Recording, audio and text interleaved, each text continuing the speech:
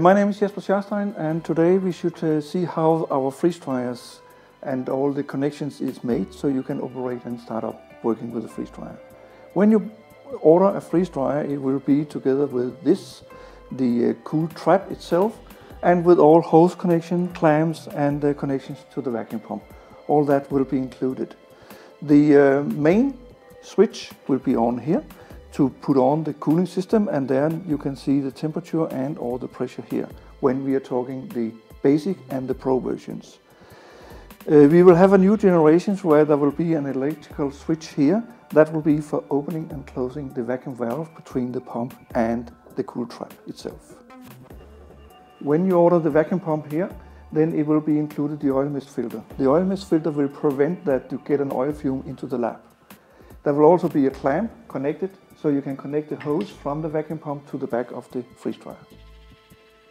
For the connection of the hose from the uh, back of the freeze dryer to the vacuum pump, you will start to connect the hose connector here. Make sure that you have the o-ring in between connected on here. It is so that uh, the new generations of the Pro and the uh, basic freeze dryers will also have an internal vacuum valve which is operated from the front just like the, uh, the uh, touch model is. You connect the uh, hose connection, just tighten it a little bit. Then you put on the hose with the clamps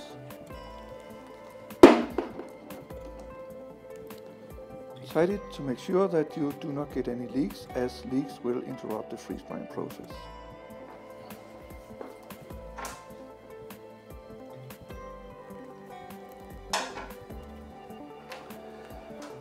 We do have an o-ring, we do have the hose connector and the clamp.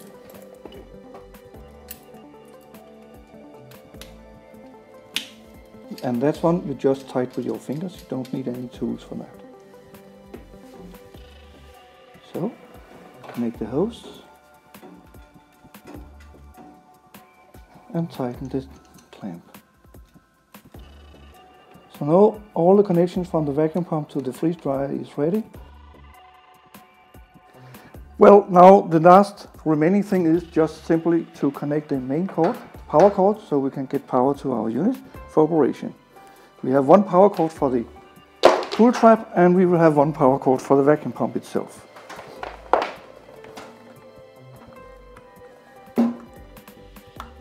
So, and now we are ready for the operation.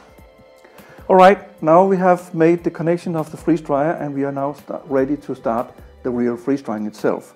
In order to have uh, your samples inside the freeze dryer, you need to have a chamber or a manifold or anything else. But the first thing, which is the most important, is our ACPL lid.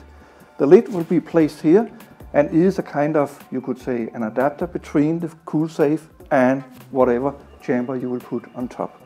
If we take the manifold, that will fit into the hole in between, and here you then can have the hose, uh, the flask for doing the freeze drying.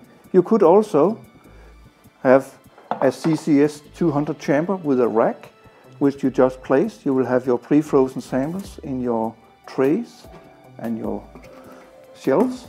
Connect your chamber on top, and now you have a freeze dryer with a CCS 200 chamber. Or use the same ACPL lid with a CCS 300 chamber or even up to a 500 chamber.